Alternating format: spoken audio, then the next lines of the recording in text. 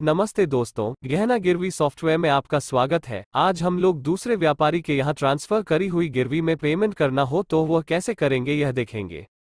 किसी दूसरे व्यापारी के यहाँ ट्रांसफ़र करी हुई गिरवी में पेमेंट करने के लिए सबसे पहले सॉफ्टवेयर में गिरवी ट्रांसफ़र रिटर्न का आइकॉन बना आ रहा है, उस पर क्लिक करेंगे। अब जिस व्यापारी के यहाँ आपने गिरवी ट्रांसफ़र करी है, उसका नाम डाल के सर्च कर लेंगे। इसमें आपने उस व्यापारी के यहाँ जितनी भी गिरवी ट्रांसफ़र करी है, वह सारी गिरवियों की डिटेल्स आ जाएगी। इसमें से जिस भी गिरवी में आपको पेमेंट करना है या सेटल करनी है, वो सिलेक्ट कर लीजिए।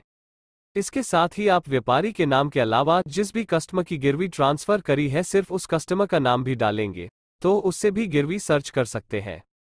इसमें आपको ट्रांसफ़र करी हुई गिरवी की जानकारी आ जाएगी, जैसे कि गिरवी ट्रांसफ़र करने की डेट रखे हुए सामान का वज़न, कितना मूलधन आपने लिया था, अथवा आज तक का ब्याज ऑटोमेटिक कैलकुलेट होकर आ जाएगा। अब जिस गिरवी में आपको पेमेंट देनी है, उसको क्लिक करके उसको ओपन कर लीजिए। इस विंडो में आप देख सकते हैं कि हरे कलर में हाईलाइट करा जो टेक्स्ट आ रहा है, वो कस्टमर ने जब गिरवी जमा करी थी, उसकी डिटेल्स आ रही है। इसके अलावा उसके नीचे जो व्यापारी से हमारा लेन देन है, उसकी डिटेल्स आ रही है। जैसे कि मैंने यह गिरवी आज ही ट्रांसफ़र करी है तो उसमें ब्याज शून्य शो कर रहा है, पर जैसे जैसे दिन बढ़ते जाएँगे तो ब्याज ऑटोमेटिक कैलकुलेट होके आती जाएगी।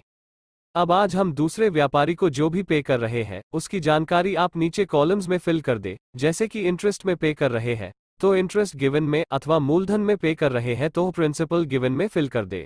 सपोज़ आज मैं पूरा पेमेंट ना करते हुए सिर्फ़ दो हज़ार रुपये ही मूलधन में जमा कर रहा हूँ तो वह प्रिंसिपल गिवन में फिल करके सेव कर दे। बट अगर मैं आज इस गिरवी में पूरा पेमेंट कर रहा हूँ तो जो भी बचा मूलधन और ब्याज है, वह फिल करके सेव इन सेटल पे क्लिक कर दे।